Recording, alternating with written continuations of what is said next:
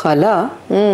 वैसे ये डाकिया की बीवी हर वक्त घर में क्यों बंद रहती? है है मुझे क्या पता क्यों हर वक्त घर में बंद रहती है भाई जब से शादी हुई है बस घर में ही रहती है और वो कम बखत डाकिया। काम शाम तो होता नहीं है उसको सारा दिन औरतों की तरह मिट्टू के साथ इधर की उधर बातें करता रहता है बस। अरे मिट्टू तो बहुत ही प्यारा बच्चा है खाला। और इतना भी बुरा नहीं है इसने तो मिट्टू के साथ मिलके उस औरत की मदद भी की थी ना यही है ना वो? हाँ वही है। अच्छा बात सुन। जी। मरियम के सामने तो तू बात गोल कर गई थी। लेकिन अब मुझे बता कि असल बात है क्या? कौन थे ये लोग और क्या चाहते थे? सच्ची खाला मुझे कुछ पता नहीं। मेरी तो अपनी समझ में नहीं आ रहा कि ये सब अचानक हुआ क्या है। देख बेटा तेरी बातें तेरे चेहरे के तासुरात से मेल नहीं खा रहे। सच सच बता क्या बात है? अरे नहीं मेरी प्यारी खाला मुझे तो खुद नहीं पता वाकई। मैं खुद पहले हैरान हुई थोड़ा सा होश आया तो मैंने तो पकड़ के उन्हें धो डाला अच्छी तरह। भाई कैसी बीवी है यार? होटल से खाना खाना पड़ गया पैसे भी खर्च हो गए। लो चचा पटाखे को देखो खुद रास्ते में आता है और कहता है हर रास्ते से पता नहीं क्या बीमारी है। पूरी रात पूरा दिन मोहल्ले मंडलाता रहता है मंडलाता रहता है। हट जा रास्ते से। नहीं हटूँगा। अबे मैं कह रहा हूँ तुझे हट जा तू सुनाई नहीं दे रहा तुझे बहरा हो गया क्या? चाचा एक बात बताओ। तुम रास्ते में आते हो कहते हो वो तुम हटे रास्ते अभी कौन रास्ते में है? मैं या आप ओए ज़्यादा चिटिक चिक मत कर। और दीवार बन के क्यों खड़ा हुआ है? हट रास्ते से। रास्ते में आप आए हो मैं नहीं। साइड से गुजर जाओ। मैं नहीं हटूँगा मैं खड़ा रहूँगा। और डाकिए के बच्चे। मेरे मुँह लगने की ज़रूरत नहीं है मैं बता रहा हूँ तुझे। मैं वैसे गुस्से में आ रहा हूँ। चल हट। वाकई चाचा तुम्हारे वजह से गुस्सा टपाक टपाक करके गिर रहा है। ये देखो आधा गुस्सा तुमने पीछे गिरा दिया। अबे ज़्यादा बकवास करने की ज़रूरत नहीं। समझ रहा है तू? मेरा दिमाग मत पका गुस्सा क्यों आ रहा है? क्यों आ रहे हो? अबे वो मुस्टंडे मेरे महल्ले में आके हसीना को छेड़ के चले गए और मैं उन्हें ज़िंदा छोड़ दूँगा। अबे मैं उन्हें गाड़ दूँगा ज़िंदा गाड़ दूँगा ज़मीन में। आरा आराम चाचा आराम से आराम से चाचा। देखो तुम उस दिन भी ज़मीन पे लेट गए थे आज भी लेटने का इरादा है क्या? अबे मैं किसके मुँह लग रहा हूँ? चल हट आगे से। रास्ता नाप अपना। अरे चाचा रास्ता नाप तो रहे हो जरा संभल कर। वो तो हसीना जी थी जिन्होंने हल्का हाथ रखा और ऊपर ऊपर से धोया। ये मुस्टंडे हैं जरा टिका के मारेंगे तुम्हें। नहीं हटूँगा मैं।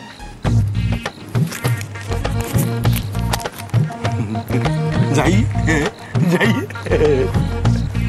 मिट्टू हज़ार की दिहाड़ी। मैंने तुझे अपनी औलाद की तरह पाला है।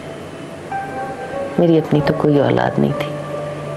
लेकिन अपनी सारी ममता, सारा प्यार तुझ पे निछावर किया है बेटी। तेरी शादी और बेहतर मुस्तकबिल के लिए मैंने अपनी बरसों पुरानी दोस्ती भी तुझ पे कुर्बान कर दी। जानती हूँ खाला। इसीलिए तो मैंने भी हमेशा आपको माँ ही समझा है। शायद इसीलिए खाला को माँ सी कहते हैं। माँ सी। आप भी मेरे लिए माँ सी ही हो खाला। अच्छा चल छोड़ इन बातों को। भाई अब गुस्से में ना आना।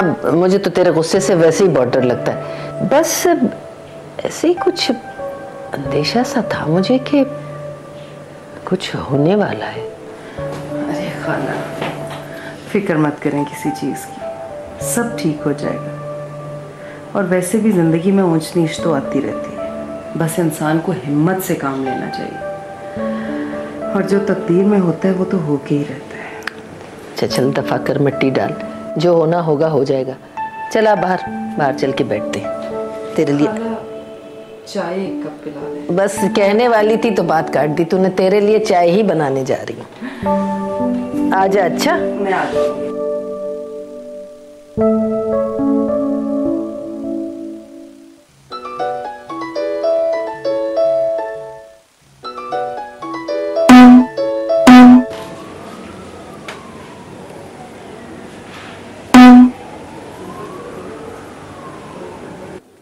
ज़्यादा रोमांटिक होने की ज़रूरत नहीं है समझे?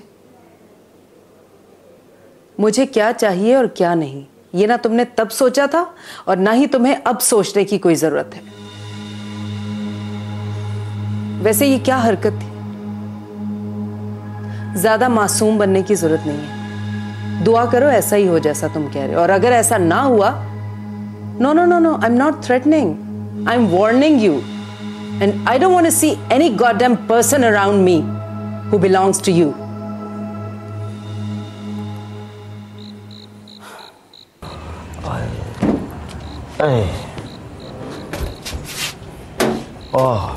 डाकिए अबे यार एक काम करो ये हाथ ही ले जाओ। कल्लू भी सी मार रहा है बेगम भी यही खड़े के बातें सुना रही है। तुमने भी आके मार दिया। अबे क्या हो गया? अबे छोड़ ये बातें बता यार। वो तू सुबह से कहाँ है? तुझे ढूंढते फिर कहाँ है तू? क्यों? अबे यार वो यार वो कल्लू अजीब आदमी यार। भैंसों में रह रह के ना खुद भैंसा हो गया। मैं उसको बात बताने गया कि हसीना जी को और मारिया को मुस्टंडे उठाने आए। उस कम ने मुझे ही बकरी के बच्चे की तरह दीवार पे टांग दिया। अबे कमर में दर्द हो गया यार। हाँ यार तू बिल्कुल सही कह रहा है। ये दोनों ना जानवरों में रह रहे के ना जानवर ही बन गए और कल रात को मारिया भी परेशान थी बाबू उस्ताद की वजह से। अबे और तो और चचा पटाखा भी परेशान है। क्यों? उस एक्सपायर्ड चुटिया वाले को क्या हुआ है? अबे उनकी हसीना को जो मुस्टंडों ने छेड़ा है। गुस्से में घूम रहे रातों को। मुझे लग रहा है मोहल्ले की चौकीदारी भी अब वही करेंगे। अबे भाड़ में डाल यार। हसीना जी से धुलने के बाद भी उनके ख्वाब देख रहे हैं। वाह। अबे देखने दे यार एक बात सुन। बोल। अबे वो तूने दुलारी खाना ला के दिया था? हाँ तो? तो रोटियाँ ज़्यादा नहीं ला सकता था? अबे जितनी बोली थी उतनी ला के दे दी। अबे वो सब खा गई। होटल जाके खाना पड़ा मुझे। अकेले अकेले? वैसे डाकिए मुझे एक आइडिया आया है। हाँ जल्दी बोल। पीछे हट वो आती है वो पीछे। अबे मैं मैं मैं पता क्या मैं मैं सोचा था अगर आइडिया है ना हो सकता है आइडिया कोई सिगरेट हो तो कोई सुन ना ले। अबे सिगरेट नहीं सिगरेट तुझे समझ में आ गई ना? हाँ। आगे बढ़ा। अबे ऐसा कौन है यार इधर जो सुनेगा? तू मेरी बात सुन। हाँ बोल बोल बोल। अबे तू दुलारी से पता करवा। मुझे ना रजिया खाला पे शक है। कहीं उसने तो नहीं है आग लगवाई। मुझे जलने के कहीं तो बू नहीं आ रही। अबे यार मैं वैसे ही बात कर रहा हूँ यार। वो जो होती है। अबे हाँ। ओए डरा मत। अबे मैं तो बताना ही भूल गया। रजिया खाला मेरे घर भी आई थी। हैं? क्यों? अबे वो मारिया के रिश्ते के सिलसिले में वो पूछने आई थी कि कौन लोग हैं कैसे लोग हैं। हम्म। फिर? अबे इत्तेफाक से मैं उन लोगों को जानता था। मैंने बताया कि कुछ अजीब से लोग हैं। वो लड़का शादी करके बाहर जाता था। कुछ अरसे के बाद खाली वापस आता था। और या दोबारा शादी कर लेता था? यार मेरा दिल तो नहीं चाह रहा था। अगर यार मारिया जैसी भी है बाबू साहब की बेटी है यार। हम्म तो ये बात है। मतलब मेरा आइडिया सही था? को, कौन सा आइडिया अबे तू कोई आइडिया देने वाला था? ज़रूरत नहीं है यार। तूने मेरा काम कर दिया है। मैं- मैंने मैंने तेरा क्या काम कर दिया? तू समझेगा नहीं? हाँ। अभी बच्चा है हाँ। बैठा रहे। अच्छा। क्या काम कर दिया यार मैंने इसका।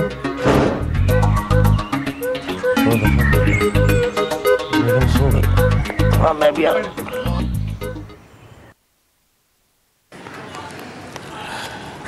अरे डाकिया सही कह रहा था यार। चच्चा पटाखा तो बड़ा भरम मार रहा है हीरो की तरह।